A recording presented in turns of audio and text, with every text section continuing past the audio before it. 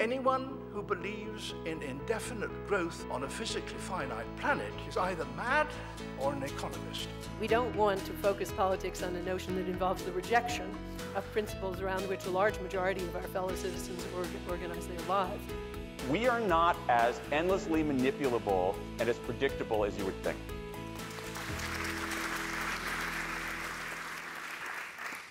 I'm particularly pleased to, to be here at the RSA this morning uh, to launch this new report looking at the manufacturing sector. Delighted too that Vince Cable's able to join us.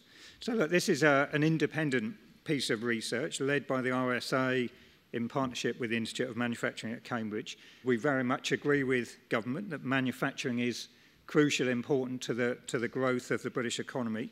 So manufacturing a, a diverse sector with very specific requirements. Manufacturers need access to finance, whether that's to invest in new production methods, new technologies, plant and machinery to make acquisitions, and indeed, of course, in the global marketplace, they need trade finance and access to, to capital markets and much more.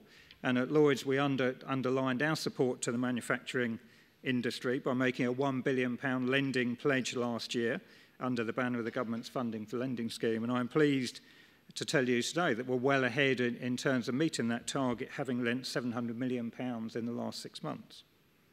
And for me, supporting the manufacturing sector is very, about, very much about ensuring that my relationship managers up and down the country have the right skills and expertise in place to act as trusted advisors. So our teams undergo extensive training uh, in conjunction with the University of Warwick, accredited by the Warwick Manufacturing Group, and it was a program developed with the, the Engineers Employers Federation and the Manufacturing Technologies Association. And we've trained over 100 relationship managers so far, and we have more underway so that these RMs have an even better understanding in terms of their manufacturing customers. So we've been supporting manufacturers since 1765, and it's my pledge that we will continue that legacy today. Thank you. Thank you very much, David. Uh, and Finbarr, over to you. The financial crisis made us change our conversation about manufacturing. It made us think about manufacturing anew because up to that point, we weren't really having a strong manufacturing conversation. Since the financial crisis, though, we have had to survive. And there's been a lot of efforts to support manufacturers to survive. So this report is very much about looking beyond tomorrow and the next week and the next month. It is trying to ensure that the trajectory is correctly set so that we don't succeed tomorrow but fail in the next five and 10 years. We're used to change one trend at a time. What we're not as used to is a number of trends all coming together at the same time and affecting how we organize our businesses. So we are seeing changes in oil availability and price. We are seeing changes in emissions regulations. We are seeing changes in production technologies. There are a number of things all happening at the same time. Commodity prices have risen and are volatile. And so when you put all of these things together, you will live in a different world which will change very rapidly around you. There has been almost a fetish around small companies and uh, through the economics literature and through a lot of policy, supporting very small companies has been very, very important. Going up the scale, we jump from the small to the very large, and we jump straight to multinationals. And because we operate at those two ends of the spectrum, we missed the middle. These are companies who are relatively large, they have money to invest, they have agility, and they're very, very close to their customers. And in this world where demand is fragmenting. We're getting highly differentiated patterns of demand. when you're getting the need to move quickly on opportunities, mid-size may be a better size to be. And one of the interesting things coming out of the work is how do we think about supporting small companies to become mid-sized companies? And how do we help multinationals, if they need to, to think of themselves as collections of mid-sized companies rather than just one large structure? What we have done is we have shown you a model which discusses how changes in imports and exports will change the balance of trade in the UK. The work leads you to the position that says trade will fall. We are used to an economics which says that trade is growth. Trade leads to growth. You need trade for growth. And what we are trying to say is trade will be reduced, growth will continue because we'll use a different mechanism. We will use ownership rather than trade to enter markets. Now, how much will that trade diminution affect exports and imports? It could, it could affect it in a number of ways. And when you look at that and you say exports fall a little and imports fall a little more, 20 and 30 percent, you end up with a trade balance that shifts by about 20 billion. And if you translate that into employment directly, that's about 300,000 workers, but that's not going to be the number. One of the trends is that automation is rising. It has risen quite significantly in a number of industries, but it will continue to rise. And so the labor content of this production and labor content of new production is likely to be lower. We may get GDP growth, we may get a reduction of the trade balance, but we won't see as strong a response in employment. Okay? There is an unintended and an intended consequence then for environmental sustainability. If we are living in a world where production and supply chains become regionalized, if not localized, the transportation of goods around the world falls. The emissions due to that, obviously, is reduced. The Ellen MacArthur Foundation are doing very, very good work looking at how we link all of the inputs and outputs of single industries and across industries so that we are using less material and reusing as much of the waste material as possible. And bringing together these two pieces, we potentially have quite a strong impact on environmental sustainability overall. We make in different volumes. And so going from the bottom to the top, we can make incredibly craft items in volumes of one, or we can make in the millions. Going from left to right, we can either make it right where you need it, or we can be in a global value chain where we make it in different parts of the world. We make the assemblies in different parts of the world. We ship pieces around. We do final assembly somewhere, and we may then ship that again and sell it somewhere else. And the feeling pre the financial crisis has always been that we're moving into, and we were already living in, the top right. We made everything in Asia in high volumes. The pressure is to move down to the bottom and to the left. The interesting pieces are making at volume very close to the consumer or making very, very low volume close to the consumer. And the top left is where the new production technologies tend to help you. 3D printing, or additive manufacturing to give it a, a better term, has been talked about and overhyped, but it is a very important, one of the very important technologies that is coming. Now, I'm not saying that it is only additive manufacturing. There are other things here. There's synthetic biology. There is new IT. There are different things happening in the fundamentals of the technologies that allow you to produce that will allow you potentially to do some of that top left box. To talk about the effect on the trade balance, here's the table from the report. Reduction in exports going from left to right, and the reduction in imports going from top to bottom. The numbers, if they're positive, are a reduction in the trade balance, and if they're negative, they're an expansion in the trade balance. An equal impact on exports and imports, given our current structure of trade, is positive for us. And any impact we can have to have a lower reduction in exports compared to the reduction in imports really gets us ahead. And the position in the report is that a lot of companies to access international markets will have to either own or control productive assets in those markets. You won't be able simply to ship and actually enter the market. And that's the change that's very difficult for some people to come to terms with. We're now trying to ask people to change their mode of understanding of organization production and how they're going to move forward. The companies are working very hard as long as they have a clear vision, they will continue to succeed, continue to increase exports, and hopefully invest in the new production technologies that allow them to move into these spaces. Government has made a number of moves in this direction. There has been a reduction of uncertainty in a lot of policy areas, but we're hoping for more clarity. We're hoping for better access to the new high-value manufacturing catapult, a focus on mid-size in the small business innovation research grants, et cetera, and essentially a TSB, Technology Strategy Board, that understands this space and wishes to work in this way as well. The finance required is for growth. Companies have tended to sit on some cash balances, but the growth capital is what they need. So they need to have an understanding of how to invest. But it's only through action at the industrial level, at the governmental level, and at the surrounding organizations that we're actually going to succeed. Thank you. Uh, whenever I talk to British manufacturers, they will make the point that you know, they're now either they've got a substantial price advantage or their, their, their, profit margins on their exports have substantially improved, giving them an incentive to stay there and to invest. So that it may be short term. We don't know what happens to exchange rates. We don't fix them and we can't predict them, but that is certainly helpful.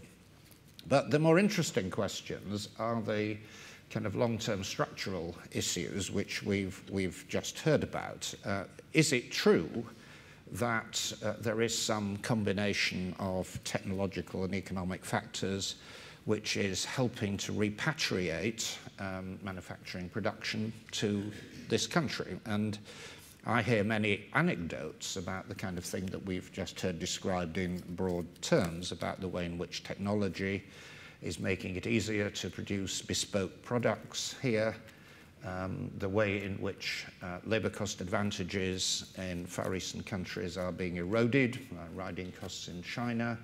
You can't just keep pushing these things down the chain. You saw the horrible consequences in Bangladesh of simply pursuing labour costs at the exclusion of everything else. Um, and certainly in, in sophisticated uh, industries, that kind of thing doesn't work anywhere.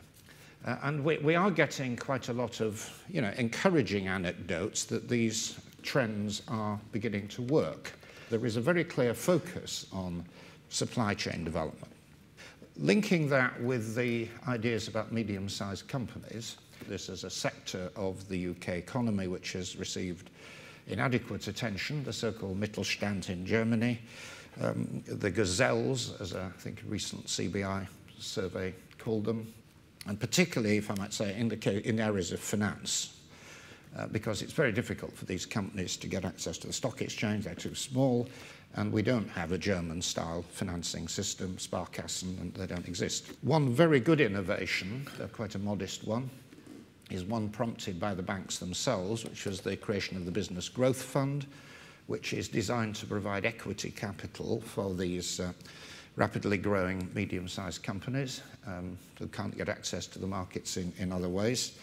Um, I'm in the process of establishing what we call a British Business Bank, potentially 5, 10, 20 years ahead, could be a massive uh, source of uh, financial support in the UK economy, but it, we're starting from small beginnings inevitably. And so one of the things we've established, and it's one of the best things we've done actually, though it's quite low profile, is what we call the Advanced Manufacturing Supply Chain Initiative, where we've got um, something of the order of um, 215 million initially.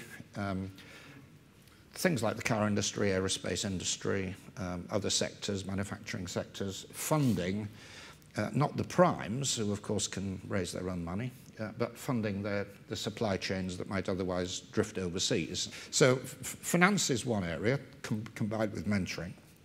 Secondly, there's technology support. Uh, and reference has been given to the so-called catapults. I think this is uh, actually one of the best initiatives we've made under this government, but it's, it's quite, so far it's quite a well-kept secret, and perhaps we ought to be doing more to promote it. But, but the first one was advanced manufacturing. Uh, uh, it's a hub and spoke model. Headquarters is in uh, Sheffield, Rotherham, and it is loosely based on the German Fraunhofer idea, taking uh, technology, innovation, development closer to business. They are self-funding. I mean, the government comes up with the capital, but they are self-funding. We need to think about how we best do that. Thirdly, an absolutely key to these companies and manufacturing in general is skills. I mean, ev everywhere I go, um, we get this problem. You can go to areas of high unemployment, and the first thing that the companies will tell you is, well, we can't find any labour. And it's, there is a skill problem at, craftsman level and at professional engineer level, which is absolutely acute in the UK. And it will become more acute the faster the recovery takes place. And we're trying to deal with that in a variety of ways. Apprenticeships are increasing quite rapidly, and particularly advanced um, engineering uh, apprenticeships. These university technical colleges, of which we've I think, launched 45. Um, five have already opened, are designed to target school kids, with, specifically with that objective. One of the biggest changes is the introduction of the employee, I'm sorry, employer ownership pilots. These are challenging, tra channeling training funding through employers. So they then buy the training they want rather than channeling through trainers who then you know, put people out into the market. It's quite an important shift of emphasis. Finally, alongside these kind of general, generic um, horizontal policies, we are trying to develop um, a strategic approach to dealing with particular sectors uh, and in the autumn statement, we got um, the equivalent of 2 billion commitment. Important not simply because of the magnitude, but because it's, it's a long-term commitment, best part of a decade. And that represents, um, you know, the, the kind of tip of the iceberg of what we're doing in terms of an industrial strategy, trying to think long-term, trying to work with business, trying to put in place long-term commitments that will support the kind of initiatives which you've described. One of the interesting exercises going on at the moment, in which I think the RSA are involved, is the foresight study of manufacturing, thinking ahead to 2050, so that we're responding to the needs of manufacturing, not just on a year-to-year, month-to-month basis, but with that kind of very, very long-term um, strategic uh, perspective as well. So thank you very much. Thank you, Ben.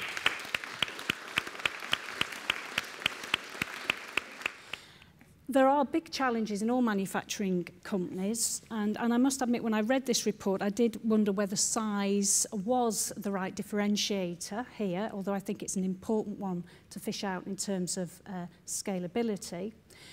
For most mid-sized manufacturing companies the, the challenges really now facing this environment are about going forwards so the investment in new technology, uh, the skills what I call total factor productivity, which is like how do I use this new technology to gain uh, wealth and access markets, and how do I scan the boundaries to see what's coming at me. Now, that's quite a difficult thing to pull off in a mid-sized company where you've still got the day-to-day -day, uh, maximizing returns from your existing product range and taking it forward in the face of, of the, the conditions that we actually face.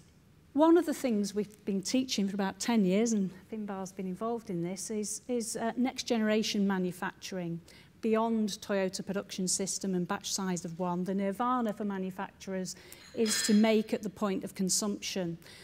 And that's been part of the vision for manufacturing for a long time, but we're now seeing it actually starting to happen. One of the things we've done is to set up the UK's first Fab Lab in conjunction with MIT, which is a community-based facility for people from all walks of life to go in and make things using digital fabrication techniques. When we set up, there were 30 of these worldwide. We're two and a half years in. There are 150 of them now. There's six in the UK now and 65 more wanting to set up. And we're now seeing venture capital back models uh, that are similar to Fab Lab starting to enter the market globally. The opportunities there are around the other big dimension that affects this, which is where I slightly disagree on the size differentiator of this report, which is consumer innovation. The reason that I believe that the UK is on the cusp of a major opportunity is that I think we are a nation of tinkerers and inventors who um, reputedly can't scale up those inventions into wealth generating multinational company models.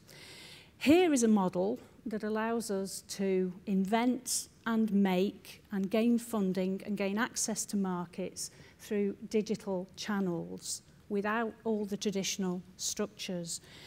And a recent piece of research which Nesta um, reported on with MIT looked at the incidence of consumer innovation globally and found that the UK has the highest percentage of consumer innovation internationally, 6.1% of people that just make things for their own use. And that's also why, slightly, take umbrance with the mid-size, they're not the only people that can capitalise here. Very, very small companies can come into this and make a huge difference very quickly. One small example of that A gentleman, 23-year-old, wandered into our Manchester lab a few months back wanting to make a memory stick for his iPad that sat flush with the side of the device, which apparently the existing ones didn't. So we helped him make that. He put it on Kickstarter. He got £500,000 worth of funding when he was after 15,000 mostly in advance orders and it's now on sale in the Apple stores. It cost him £1,000 to get that to market and it took less than six months.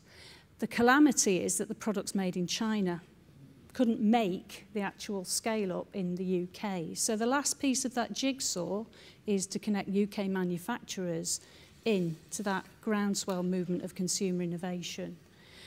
And that, I think, is a winning combination for the UK it's actually more difficult for larger scale manufacturing companies to engage with some of that consumer innovation. It's easier for smaller companies.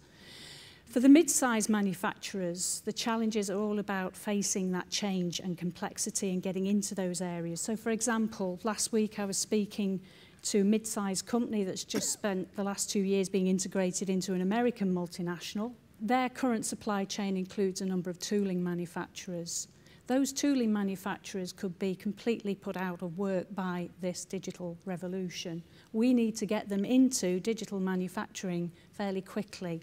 Where's the investment going to come from to do that? Who's going to invest in that risk for those when the market's still fairly new and companies are only just beginning to be set up in it? So it's high risk.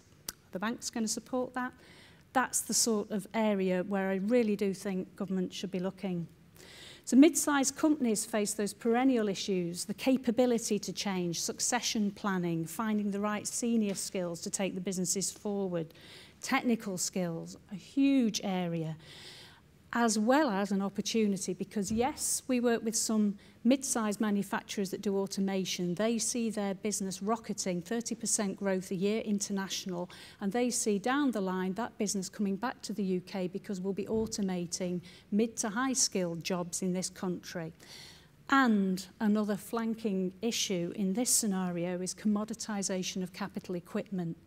We have a 26,000 pound 3D printer in our fab lab we now have school children making 3D printers. The aim is to get machines that make machines. So everybody can have one in the bedroom, everybody can download a pattern from the internet and make what they want at the point of consumption. That's a hugely different business model to the one we see today. These changes are all happening very rapidly and at the same time. So huge opportunities, but I do think the UK is particularly positioned well to exploit them if we can just get our heads around it.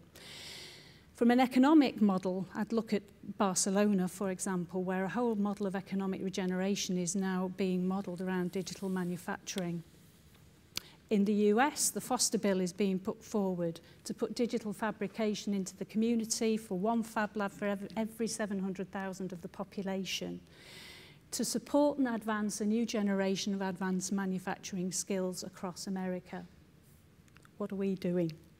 A lot of it is about joining things up and being a little bit more visionary um, about what the UK could achieve and playing to our core capabilities and strengths. Because, yes, we're not German, but we could make a lot more of what we do actually have. Thank you very much, June.